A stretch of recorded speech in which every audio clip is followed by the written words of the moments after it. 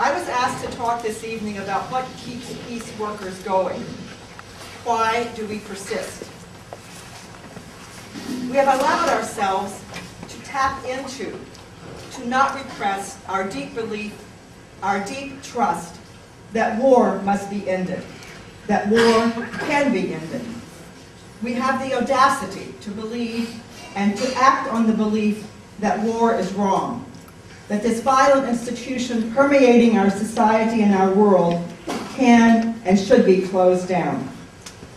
Marianne Williamson, who's an author and lecturer, says, War anywhere is an action that threatens peace everywhere.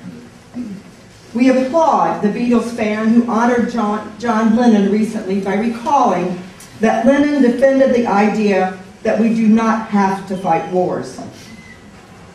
We were horrified when a confused, crippled old man was blown away in gunfire by U.S. troops securing Baghdad in 2003. We are horrified when families are murdered at U.S. checkpoints due to fear, arrogance, and a language barrier. When cultural norms are violated and innocents are killed in night raids. When young soldiers are blown to bits or suffer unbelievable injuries. Given the horrors we have witnessed over the past decade, it is not too surprising that James Carroll says we all may be suffering from a kind of societal post-traumatic stress disorder. We resonate with Steve Earle when he sings, even as a war approaches, I believe there'll come a day when the lion and the lamb will lie down together in Jerusalem. It is sobering to realize we have spent our lives holding on to this dream of ending war, while our country has been high on the military, as Hans Blix has described us. Some of us have been opposing war since World War II, since, since we were in the throes of the nuclear arms race, since the Korean War, where the failure to end it still haunts us, since the war in Vietnam, Laos, and Cambodia, since the Central American wars and the invasion of Panama, since the war in the Balkans, since the Gulf War and the 1990 sanctions and bombing of Iraq. In this last decade, hopes for ending war were lost in the attack on Afghanistan, the invasion of Iraq, and our not-so-covert attacks in Pakistan and Yemen. We persist because war must be ended. In many ways, we are sheltered from the reality of the wars that are fought in our name. When our Lehigh Valley Peace Coalition recently showed the film Rethink Afghanistan, many of us were struck at how little we know about the daily horrors of that war. Even if most of us have never experienced war directly, we know we are part of our country's war machine. So we persist because the war culture is pervasive and we must resist. We question why young people must face military recruiters at schools. Some of us symbolically or for real resist paying the federal income tax because about 50% of that tax goes to the expense of wars, past and present. Our culture welcomes military-themed holidays and parades.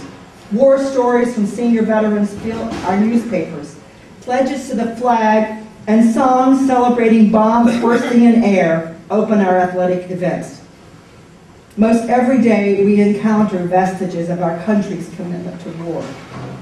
In a strange twist, we could see this large propaganda effort as an affirmation that, as Eisenhower said, people really don't want war. So governments, politicians, military contractors, generals have to create these elaborate schemes to keep the country supportive of these deadly efforts. It has even become common for the pressing non-military issues of the day to play out in the military context. Gays struggle for rights, so a primary arena for the struggle becomes ending don't ask, don't tell in the military. Undocumented immigrants need an avenue to legal status. We don't just acknowledge college degrees in the DREAM Act, we also include military service as an avenue to citizenship, and recruiters celebrate. Climate change is a threat, so the military, ever the richest government body and the biggest consumer of energy, announces plans to spend loads of our tax dollars pursuing energy conservation, ignoring the obvious and best conservation effort, ending war. This is the same military that now spends about $400 to, to get just one gallon of fuel to Afghanistan over treacherous supply lines. Imagine what could be done with those fuel dollars for real energy conservation in our homes and community buildings. Then there is the false conundrum. We can't afford to create jobs for infrastructure, child care, or education at home, but we can't cut the military budget because that would put people out of work. A few refresher statistics from the Political Economy Research Institute. $1 billion of government spending on the military creates 12,000 jobs. That same billion spent on health care or home weatherization and infrastructure would give us 18,000 jobs. A billion spent on education would create 25,000 jobs. Spent on mass transit, 27,700 jobs. We persist because there are many very real threats to peace in our world. And it is important that those threats are discussed, understood, and acted against locally as well as nationally and internationally. And here are some of the current threats that haunt me and make me want to act for peace in every way possible. Poor villagers in Pakistan now spend their meager resources on sedatives and antidepressants as they try to cope with the buzzing robots, U.S. Predator drones sailing through the sky above their homes. In September, the drones attacked 22 times and killed at least 100 people.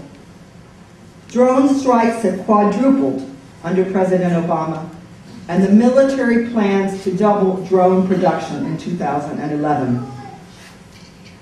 While bridges and schools decay here at home, massive building projects have followed our troops to Iraq and Afghanistan. U.S. bases number around 400 in Afghanistan at this time. Joseph Stiglitz and Linda Bilmes now say their 2008 estimate of $3 trillion as the total cost to the U.S. for our war in Iraq was too low. Two reasons they give are the cost of treating and compensating disabled veterans has been higher than expected, and there are the costs of the might have beens, like would the federal debt have been so high if not for the Iraq war? Or would the economic crisis have been so severe if not for the war? Robert Wright says income in the U.S. is now more concentrated in fewer hands than it has been in 80 years. The top one-tenth of 1% of U.S. citizens earn as much as the bottom 120 million of us. Maude Barlow, head of Canada's largest public advocacy organization, has reported that the three richest men in the world have more money than the poorest 48 countries. She also says in 2009, the global unemployed numbered 230 million, the highest ever recorded.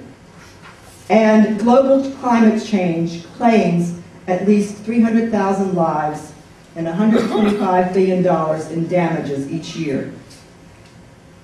She says, expecting food and water shortages, wealthy countries and global investment pension and hedge funds are buying up land and water, fields and forests in the global south, creating a new wave of invasive colonialism with huge geopolitical ramifications.